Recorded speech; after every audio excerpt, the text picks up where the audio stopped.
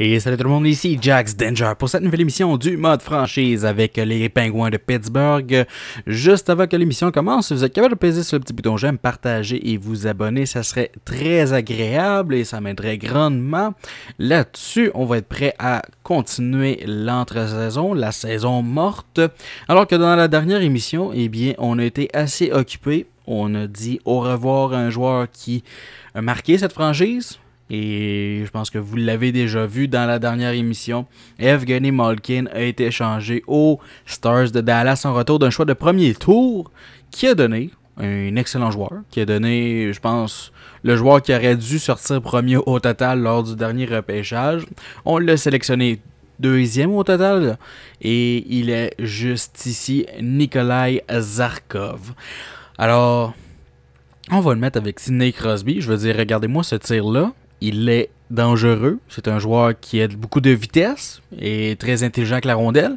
Il n'a pas vraiment un point positif. Il est quand même physique aussi. Euh, peut-être son jeu défensif amélioré. Sauf que c'est un russe. Donc, euh, habituellement, les Russes ne sont jamais reconnus pour leur jeu défensif, à part peut-être Pavel Datsuk. Mais sinon, je pense que ce joueur-là va devenir un excellent joueur ici avec les Penguins de Pittsburgh. Le numéro 28 ici, donc il va jouer la saison prochaine. Je, lui ai déjà offert un nouveau contrat. Dans les joueurs qu'on va donner des nouveaux contrats, comme vous l'avez vu dans la dernière émission, il y a Teddy Bludger, Evan Rodriguez que j'aimerais ramener, Colton Scavier, peut-être un peu plus de profondeur. On a quand même beaucoup de place sur la masse salariale, alors qu'on a échangé euh, Evgeny Malkin, ça libère beaucoup de place à ce moment-là. Alors, un Casey, c'est qu'est-ce qu'on a amené la saison dernière à la date limite des transactions.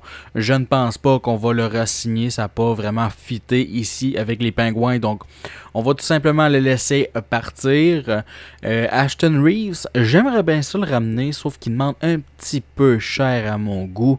Presque 2 millions pour un joueur de quatrième trio. Vraiment, est-ce que ça vaut la peine? Je ne crois pas. Donc, on va le laisser partir. Je sais que j'aime.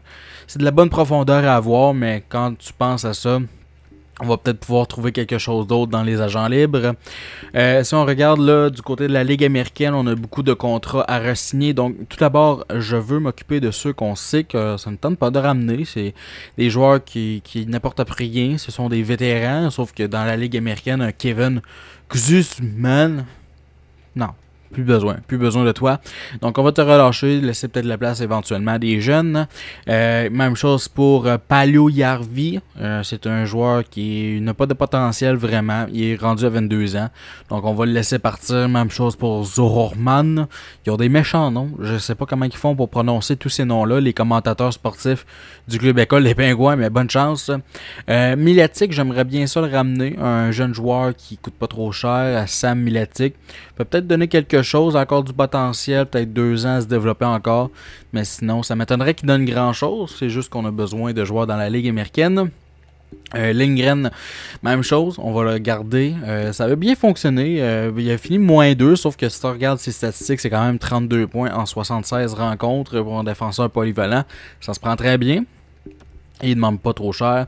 Euh, à ce moment-là, Bjorkvist, Casper Bjorkvist, un ancien choix de deuxième tour euh, en 2016. On peut s'entendre que ça n'a pas été un franc succès pour euh, le, deuxième, tour. Sauf qu'on va le garder au cas où qui peut nous amener des bons services. Donc à ce moment-là, c'est plus ici qu'on va faire du ménage. Frédéric Goudreau, à voir qui est québécois, nous apporte pas grand-chose. Si on regarde ses statistiques, il a quand même fait pas mal de points. 48 points plus 12. On va le garder à ce moment-là. Euh, lui, on l'avait, on avait été le chercher avec euh, Mathias Ecom euh, lors de la transaction qui avait amené Mathias ici. Josh Curry, on va regarder qu'est-ce que tu as fait? 13 buts, 19 passes, moins 1. Hmm. Non, on va laisser de la place pour des jeunes. Au revoir, Trotman. Je sais que toi, t'as quand même bien fait. Euh, non, pas vraiment. En fait, moins 15.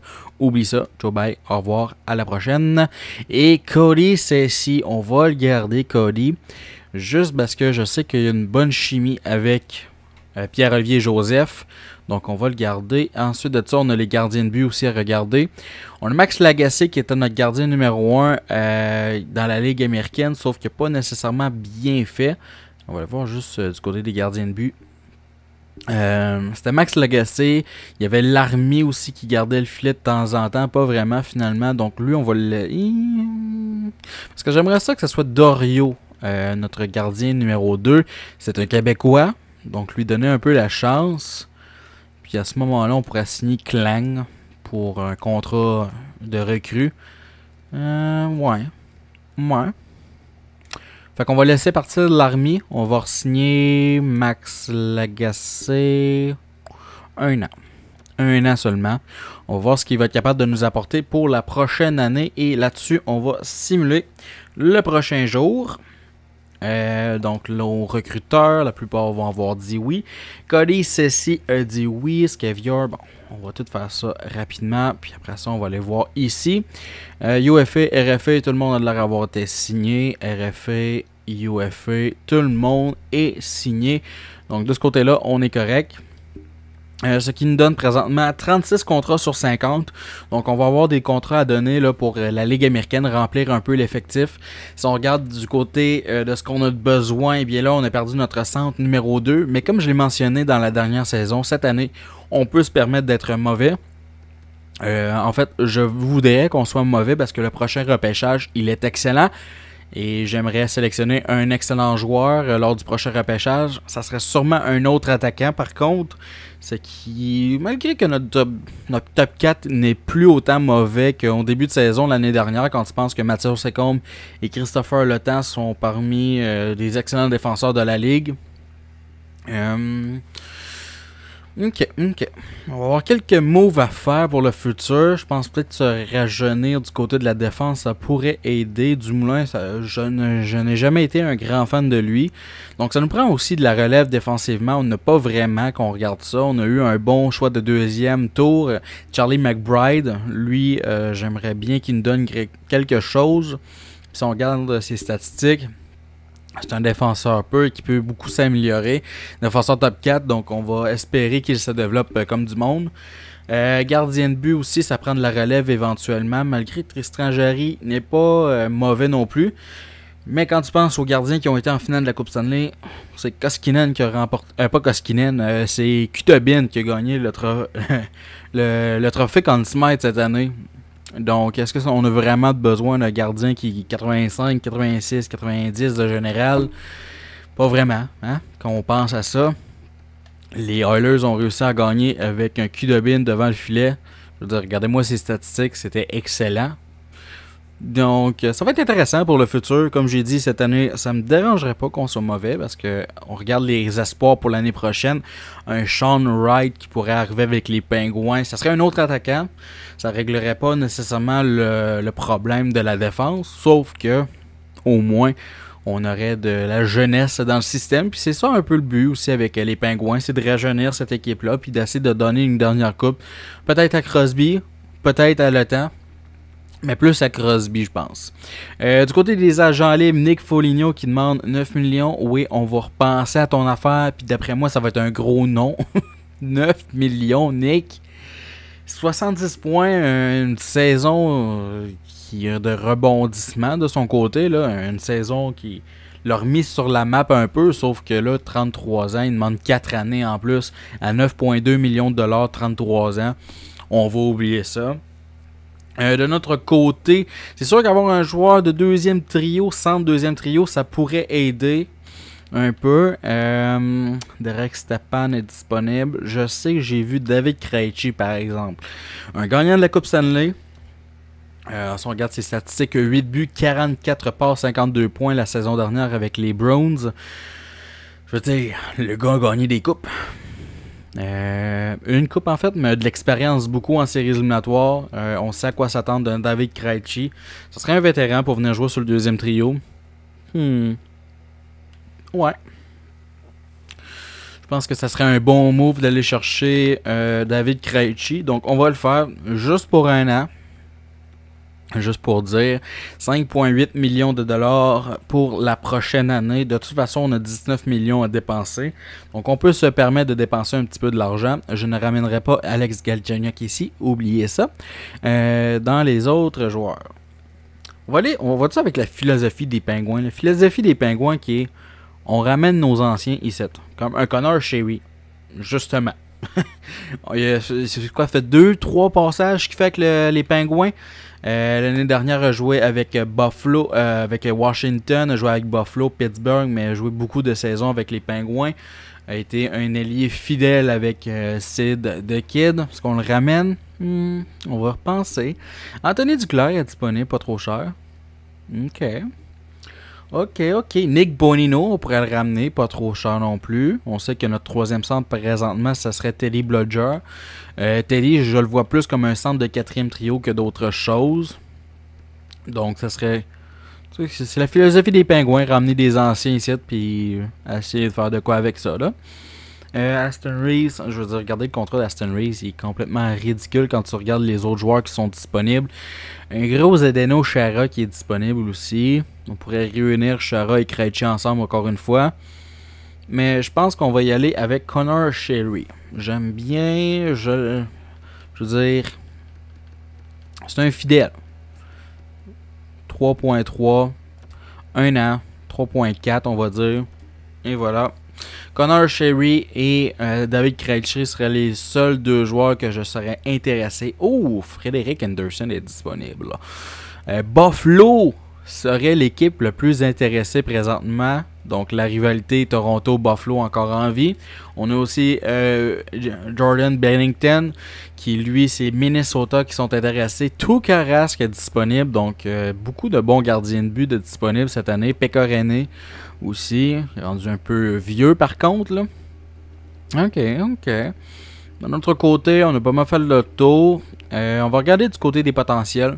Voir les meilleurs jeunes disponibles. Peut-être essayer de les développer. Comme un Coglan, là, je veux dire, moyen, moyen top 4, 23 ans. C'est un défenseur droitier pour la Ligue américaine. Ça serait parfait. Un an, et voilà. Coglan, aucun problème à te signer. Euh, les autres qui sont disponibles, Madame Pellect, euh, on pourrait signer Jérémy Roy. On sait que les euh, Pingouins ont beaucoup de facilité à signer des Québécois ici à Pittsburgh. Donc on va on va le signer défenseur offensif qui peut certainement aider surtout pour la Ligue américaine. On peut retourner chercher Perlini pour le rééchanger. Ce serait un peu abusif du système. Qu'est-ce que vous en pensez? Euh, Kaufner, ici, 25 ans, moins top 6. Je pense pas qu'il y ait grand-chose à prouver. Il est Albin Gruey. Euh, Grew, peu importe. Euh, les Red Wings ont décidé de laisser partir, ça va être l'air. Puis les Rangers sont intéressés, puis nous autres aussi. 20 ans, moins top 6, peut peut-être se développer. Donc, on va l'essayer. Logan Brown, un gros joueur de quatrième trio. Je l'aime bien personnellement. Fait que je pense qu'on va l'essayer. Il demande 23 ans, moins top 6 lui aussi. Il y a Schlapik aussi qui est disponible. Quand même des bons joueurs là, de disponibles. Jeune et bon. Wenberg est disponible. Hero C est disponible aussi. Lui, je le vois tout le temps bien simulé puis bien se développer dans mes autres modes franchise. Que je serais peut-être intéressé à juste le signer, voir s'il est capable de se développer. Sinon, ça va être une bonne option pour la Ligue américaine. Euh, peut-être un an par contre. Là. Je pense pas que deux ans ce soit fair enough. Donc un an 1.1. De la profondeur en plus, on avait de besoin un petit peu. Euh, Jack Drury, donc quand même beaucoup de bons jeunes de disponibles dans les agents libres. C'est assez intéressant. Jonathan Dallen, euh, Jérémy Bracco. Lui aussi, ça pourrait être un bon marqueur pour la Ligue américaine. Il est classé fabricant de jeu. C'est clairement plus un franc-tireur, mais bon, pas moi qui décide de faire les joueurs. Hein. Euh, sinon, dans les autres joueurs disponibles, c'est sûr que j'aime bien un Zach Sanford. Gagner la Coupe Stanley aussi. Un attaquant de puissance. Fait pas vraiment avec nous autres par contre. Hmm. Wenberg, la pique. Euh, Logan Brown. Logan Brown serait vraiment intéressant. 11e au total, Logan Brown, c'est vrai. Donc, on va l'essayer, Logan Brown. Washington et Vegas seraient intéressés. Un an, 1,3 million. On va essayer d'y offrir un peu plus que les autres. Puis après que ça, on va avoir 7 contrats de données. On devrait être correct. En fait, on va être correct. Il y a Sorokin aussi qui est disponible. Jesus. Elias Sorokin est disponible. OK. Nedeljkovic aussi. Fait que il y, a du potentiel un peu partout. Intéressant, je vais regarder aussi où est-ce que les joueurs vont avoir signé. Donc, nous autres, notre magasinage, je pense qu'il est pas mal complet. J'aime bien ce qu'on va être capable d'ajouter. Groovy a dit non.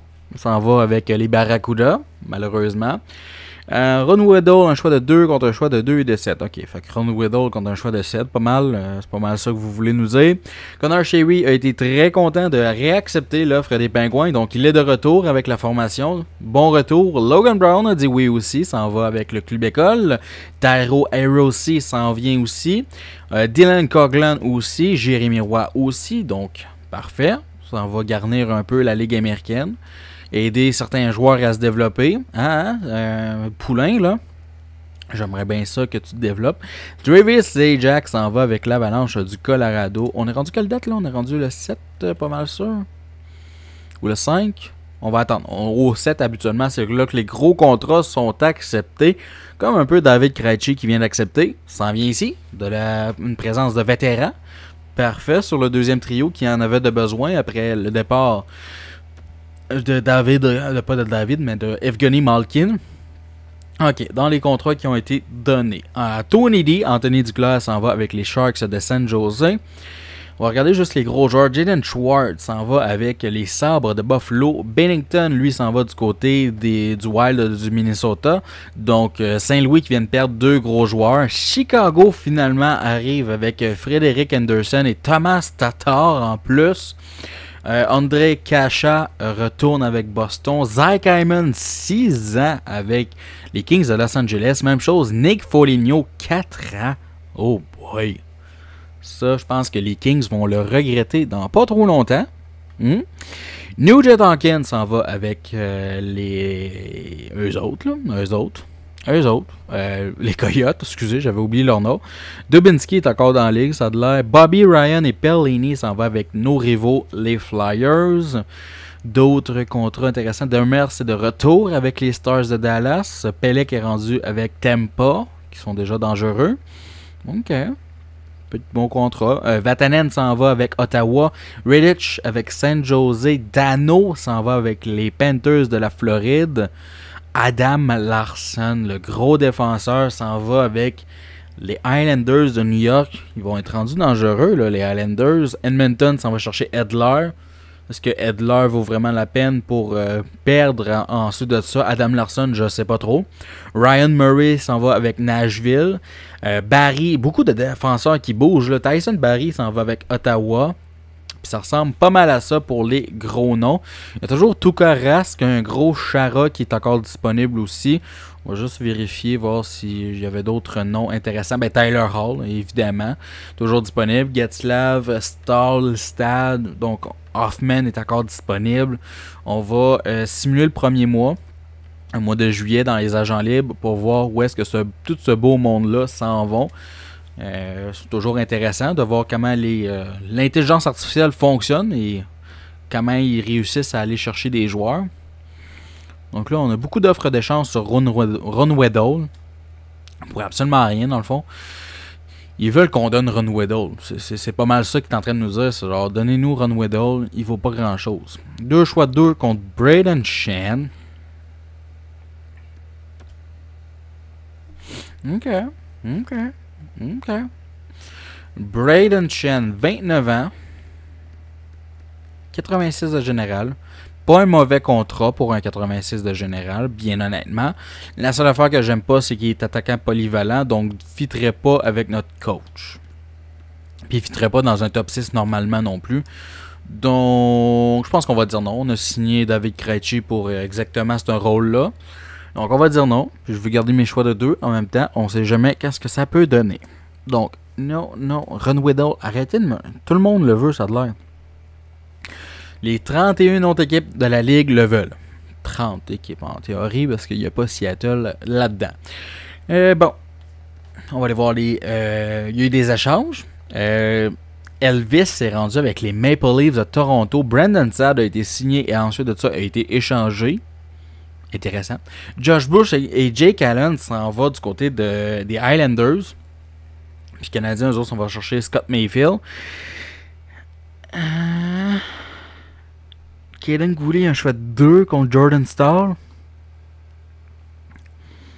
Montréal. Pourquoi vous échangez tous vos jeunes? OK. OK. Jordan Stall est rendu avec le Canadien de Montréal. Ça vous tente pas de développer à place Nick Suzuki puis euh, à place de signer des vieux finis? Euh, Tyler Hall s'en va avec les Red Wings de Détroit. Il veut vraiment pas gagner le Coupe Stanley, ça a l'air. Jason Spezza veut terminer sa carrière en Floride, qui est quand même des moves très drôles. Euh, Chicago qui signe tout le monde. Ça a l'air Stachny, Grigorenko, ils ont signé aussi? Patrick Marleau. Ils ont signé euh, Frédéric Anderson aussi, Tatar. Ils ont signé tout le monde, Chicago, ça a l'air. Euh, Adam Lowry s'en va avec Ottawa. Euh, dans les grosses signatures. Pekka s'en va avec les Jets de Winnipeg pour terminer sa carrière. Alexander Nylander avec Ottawa, euh, Détroit avec Zach Sanford. Donc, c'est intéressant, Détroit, là. Ça va chercher beaucoup de profondeur à l'attaque. Ok, ok, ok. Sinon, Simmons s'en va avec Ottawa, quand même drôle. Mike Smith avec Washington. Euh, Bozak avec Chicago. Chicago signe tout le monde, je vous le dis. Je vous le dis. Euh, y a-t-il d'autres intéressants? À Lac avec Détroit. Fait que Détroit signe tout le monde. Aussi. Chicago, Détroit. Signe pas mal de monde. Euh, Bernier avec les Browns, quand même très drôle.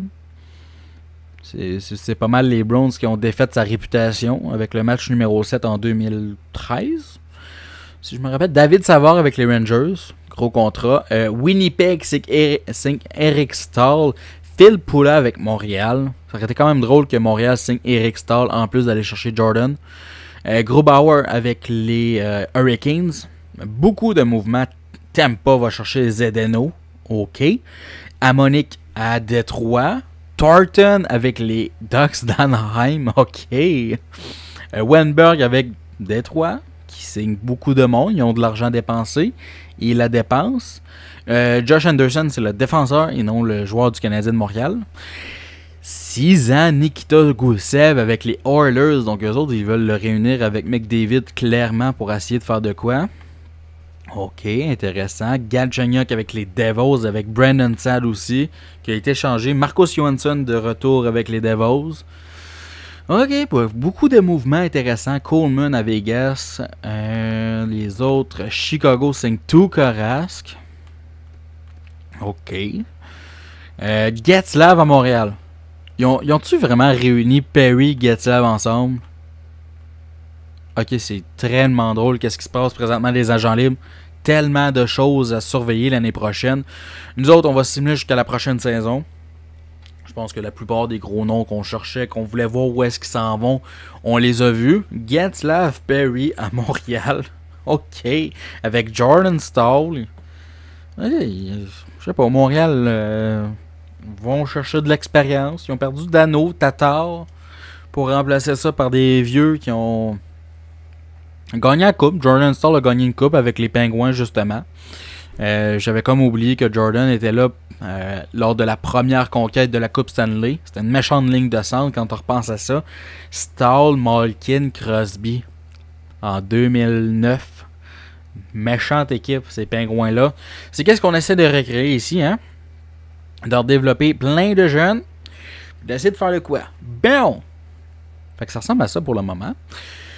On va faire des modifications, parce qu'il y a certains joueurs que j'aimerais monter. Krejci, une chance qu'on ne l'a pas signé deux ans, commence déjà à descendre. Mais globalement, ça m'a l'air d'une excellente équipe. Sherry aussi est descendu. Là, on l'a signé un an aussi.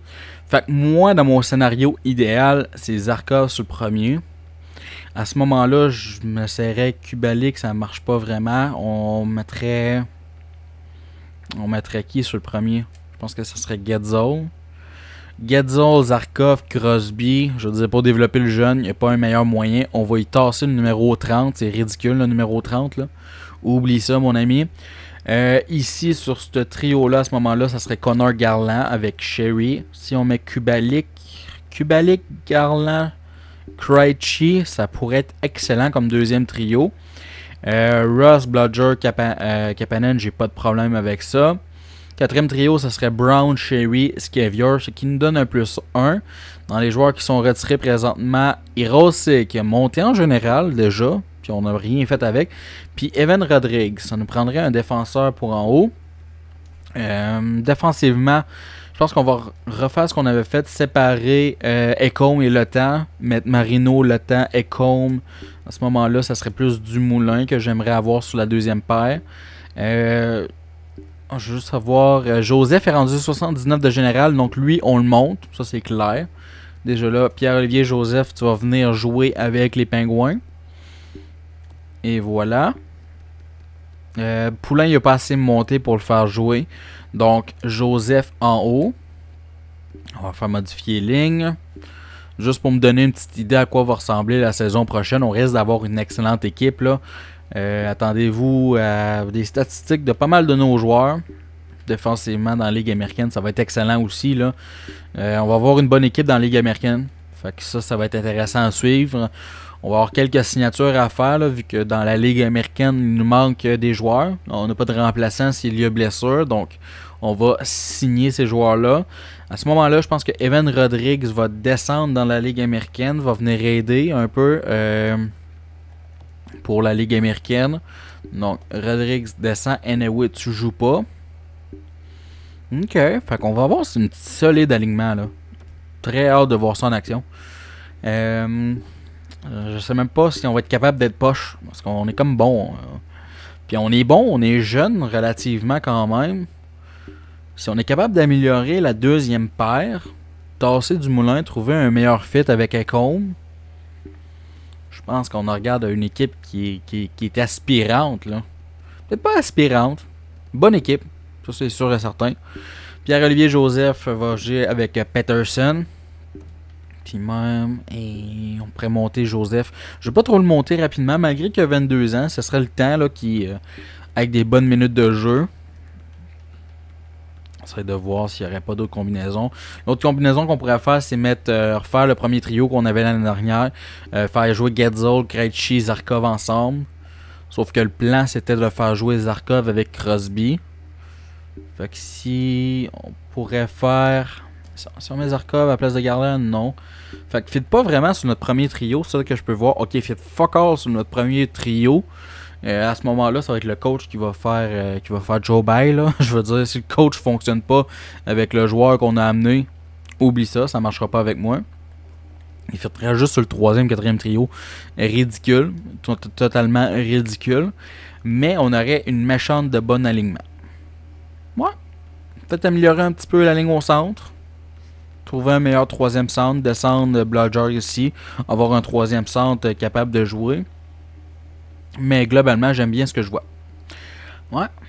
On s'est rajeuni, veux, veux pas, avec tout ce qu'on a fait. C'est c'était pas vraiment une reconstruction euh, one-on-one que je voulais faire, là. Pas euh, totalement reconstruire cette équipe-là.